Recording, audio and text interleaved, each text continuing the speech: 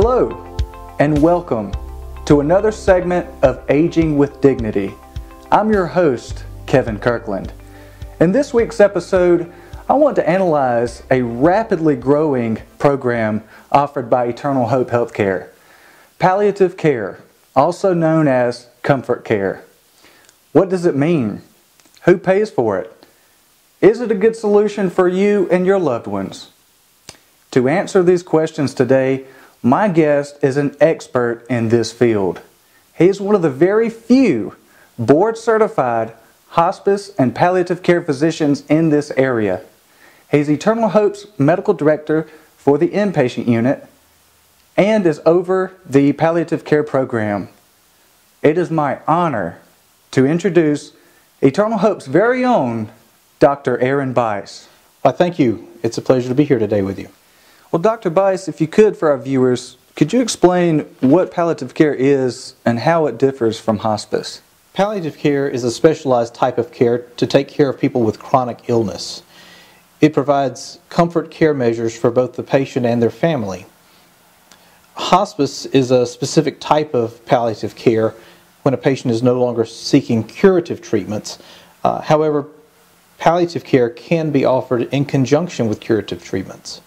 Interesting. And how is palliative care paid for? Palliative care is covered by Medicare, Medicaid, and most private insurances.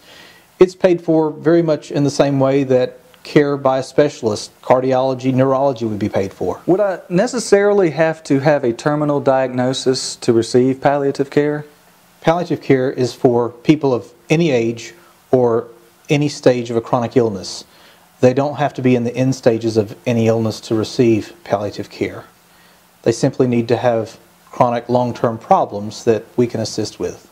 Dr. Buice, why, why do some physicians seem resistant to make a referral to palliative care? Physicians and other clinicians may confuse palliative care with hospice care. Many times they don't want to give the patient the impression that they're giving up on them. And what we want to help them to understand is that the patient can be anywhere in a long term illness process. We're there to provide relief for the family and the patient. Interesting. So, what exactly are the services that are provided by palliative care and, and how do patients benefit from that? Our services provide physical support, eliminating uncomfortable symptoms, um, providing spiritual support for the patient, avoiding polypharmacy, um, which means giving patients too many medications from multiple providers that, that might interact and cause problems, um, and also helping them navigate our complicated medical system. I see. And Dr. Buice, what would you say to the person that says, well, isn't that the same as home health services? Typically, home health services are to regain function of uh, abilities that have been lost temporarily, things that patient can regain full function and go back to their normal life. Uh, in palliative care, we're dealing with long term difficulties that the patient may not get long term recovery from and helping them to adapt to life with these new symptoms and, and difficulties. Is it possible for patients to receive palliative care in hospitals? Yes. Many times, the patient's primary hospital physician can ask for a palliative care consult. At that point, our clinicians would provide a consult, would e- evaluate the patient for appropriateness for long term care, uh, provide our options for services for their long term medical problems, and hopefully educate them about the long term outcome of those problems and how to deal with many of the symptoms involved. And why would it take a specialized physician to provide palliative care services? Palliative care is overseen by a specially trained physician in palliative medicine, but the team also consists of nurse practitioners, social workers, chaplains, and a team that's involved in dealing with very complex medical issues and long term illness. Okay. And what about treatments? Would a patient have to stop treatment if they elected for palliative care services? No, a patient could continue receiving other types of care at the same time. An example of this would be a patient with cancer receiving chemotherapy or radiation therapy. The palliative care team would simply be adding an additional level of care. Will palliative care pay for medical equipment and medications? Patients receiving palliative care will continue to get medications and any medical equipment through Medicare or other insurance plans. Okay, so what about suitors and nurses' aides? Will palliative care pay for that? Custodial care is not paid for by palliative medicine. However, our social workers are happy to assist patients and their families in locating resources that may be able to help with sitters.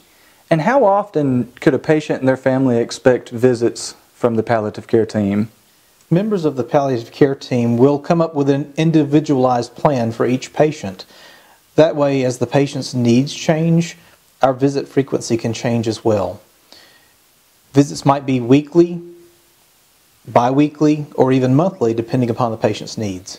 And once a person elects um, to utilize palliative care, how do they stop it if they no longer need it or want it? Palliative care is no different than seeing any other specialty provider. The patient and family can elect to discontinue services at any time they desire. Okay. And can you receive palliative care in the home setting? Yes, this is known as community based palliative care, which means that the care team comes to your home to provide services. This prevents the patient and family from having to travel to a specialty based palliative care clinic. And can a patient receive palliative care in an assisted living or nursing home? Yes, palliative care can be provided in an assisted living facility, a personal care home. It can even be integrated into nursing home care for the patient. And Dr. Buice, does is accepting palliative care does that mean that that patient is soon to be a hospice patient? No, palliative care can begin as soon as the patient is diagnosed with chronic illness whether it's for symptom management or education in their disease process, palliative care can provide services for that patient. And many times their need for palliative care services is quite earlier than the need for hospice services. Wow. Okay, so how long could a patient receive palliative care? The palliative care team will remain involved as long as the patient needs their services or might benefit from those services. I see.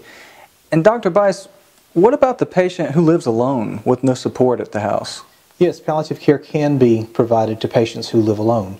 As a matter of fact, the team can also help them establish a plan for when the patient is no longer able to live in their home alone. Well, Dr. Buice, thank you very much for coming on the segment today and helping educate our viewers on palliative care. Thanks, Kevin. It's been my pleasure. In winding down this segment, it's important to understand the differences between hospice and palliative care. It's also important to consider how palliative care might be able to benefit you and your loved ones. If you think you would be interested in palliative care, talk to your doctor and let the experts at Eternal Hope help you navigate this healthcare system. Join us in our mission in helping our communities become comfortable one family at a time. Until we meet again, I'm Kevin Kirkland, and remember to stay hopeful.